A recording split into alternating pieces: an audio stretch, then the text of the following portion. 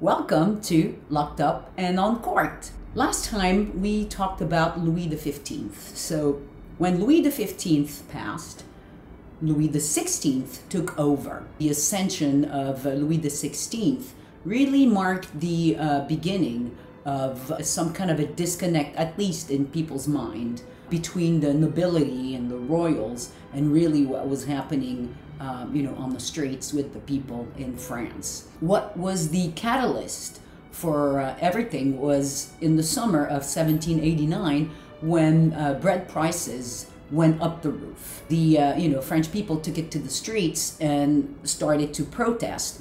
When Louis XVI uh, heard of this, he asked, "Is this a revolt?"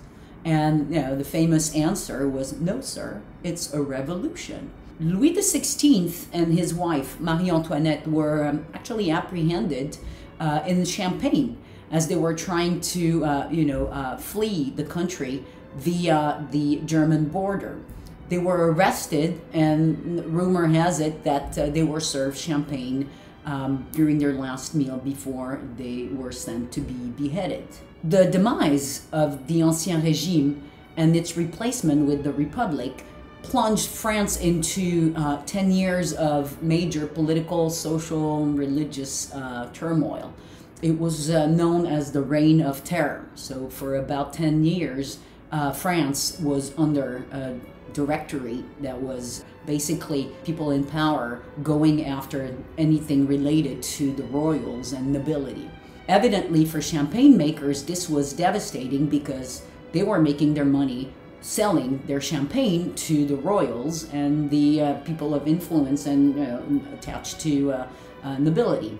So they had to spend countless nights falsifying bills to erase the names and titles of some of their loyal customers and replace those names with just the title citoyen, citizen, which was or then became the proper form of um, address if there were any good news for Champenois, it was two things. Number one, the uh, elimination of a very insidious uh, tax system that was uh, uh taxing their products at an exorbitant um, price.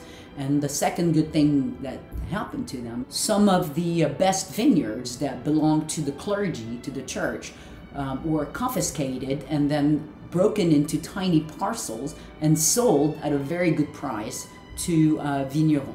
The fancy and elegant life of the last Bourbon kings evidently put champagne into the spotlight, but it is really someone else that uh, gave it its international stage. His name, Napoleon Bonaparte. Napoleon was born into a family of winemaking, so he knew uh, a lot about the industry and actually became a massive fan of champagne. He was born in Corsica and at a very early age was sent to the uh, prestigious Royal uh, Military Academy of Brienne in Champagne. It was at the uh, Royal uh, Military Academy that he met Jean-Remy Moet. Jean-Remy Moet was the uh, grandson of Claude Moet, he was helping his father um, sell you know champagne and he went to the uh, academy to try to sell his champagnes there you know, met napoleon and this marked the beginning of a very long friendship that actually lasted throughout their lifetime. When jean-remy's father passed in 1792 and jean-remy took over the entire house of moet it couldn't have come at a worse time. You had the reign of terror um, blockades by the British that was preventing any shipment to America, which was a total disaster for Moet because America was its number one customer. And you also had, you know, very poor harvest and vineyards that were left with uh, practically no production.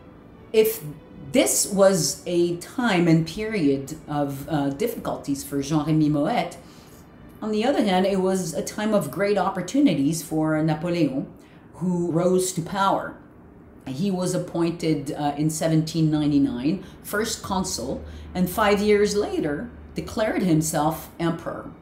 Napoleon's rise to uh, power really marked the beginning of fantastic times for Champagne. Upon gaining power, he immediately appointed Jean Antoine Chaptal as his uh, minister of interior. Chaptal was a very famous and smart chemist who had written a bunch of uh, books and uh, treatises on uh, winemaking, the techniques of winemaking as a science, and uh, came up with the concept of adding some little sugar into the bottles before the first fermentation would be effectuated. Um, this is a technique that's called as uh, chaptalisation. Another thing Chaptal did was to ensure that uh, France was completely independent. So, in order to stop relying on the sugar that was coming from uh, sugarcane plantations in the Caribbeans, he uh, lobbied to have uh, beets planted throughout France to extract the sugar and use that sugar for the uh, chaptalisation. Napoleon made Chaptal a member of the Légion d'honneur, which he created. Chaptal is also one of the 72 names that are written at the bottom of the Eiffel Tower. Another one who was made a member of the Légion d'honneur was Jean-Rémy Moet. Before each of his uh, military campaign, Napoleon always made sure to stop in Epernay and visit his good old friend Jean-Rémy to uh, get his supply of champagne. From this came his famous quote, where he said, In victory, you deserve it. In defeat, you need it. One time, being in a rush, he failed to make his usual stop in Epernay. He was on his way to Waterloo. When Napoleon abdicated, very soon after, both Epernay and Reims were occupied by the Russians tragically, cellars were ransacked and uh, completely destroyed. The worst one was actually Moet. But instead of being devastated, Jean Remy kept telling himself, Qui a bu boira. He who drank will drink. Moet was right. Post Napoleon's abdication, he single handedly became the world's most famous champagne maker and was supplying the majority of the courts throughout Europe. But he was not the only one who had kind of an imprint on the international scene with his champagne. Somebody was giving him some pretty tough competition.